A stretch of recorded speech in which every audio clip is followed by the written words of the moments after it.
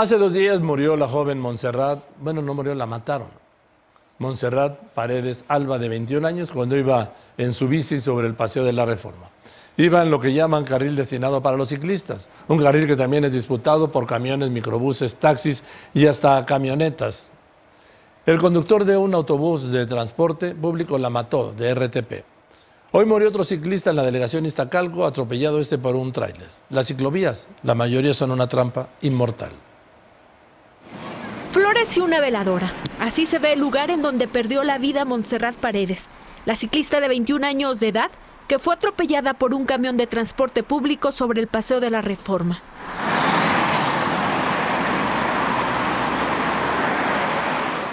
La vialidad sobre este tramo del Paseo de la Reforma, desde la fuente de petróleos a Lieja, siguió su curso. Una batalla por el espacio, con el riesgo para los ciclistas, sobre un carril de alrededor de tres metros y medio, en donde circulan los camiones del transporte público, los microbuses, los automóviles, los camiones recolectores de basura, camionetas de carga de los ambulantes que cada vez son más sobre esta zona del Paseo de la Reforma, taxistas.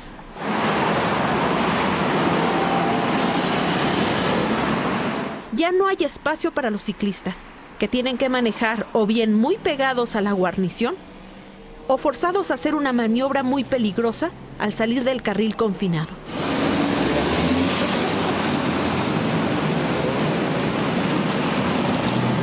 Y es que lo tienen que hacer.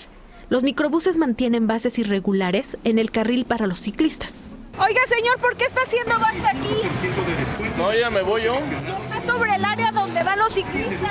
Pues no hay paso, ¿por dónde me voy? ¿Pero por qué está haciendo base donde no debe? Pues no estoy haciendo base. No, y entonces está haciendo... Yo ya me voy. A ver, muévase.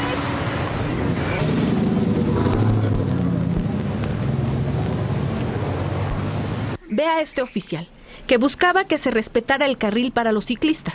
¿Por qué permite que se queden ahí parados Sí. tanto tiempo? Ya le dije que se avanzara. No le hacen caso. Sí, voy a ir otra vez. A ver,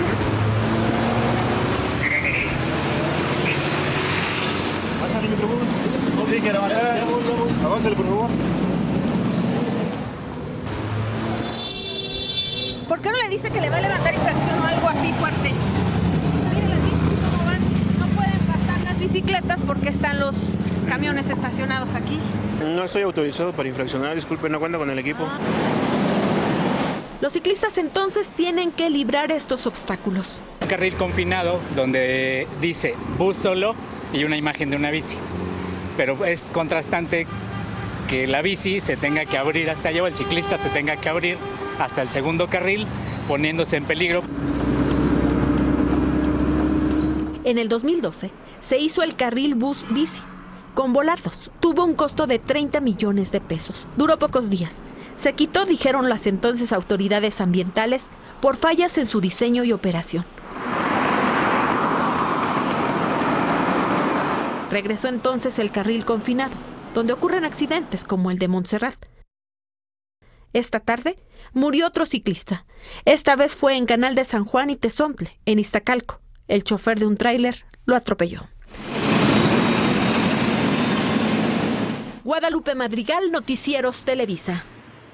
Y claro que hacen base los autobuses y microbuses ahí en el carril de ciclistas frente al Auditorio Nacional. Hoy fue puesto a disposición de un juez el chofer del camión de pasajeros que atropelló a la joven Montserrat Paredes. Está acusado de homicidio culposo.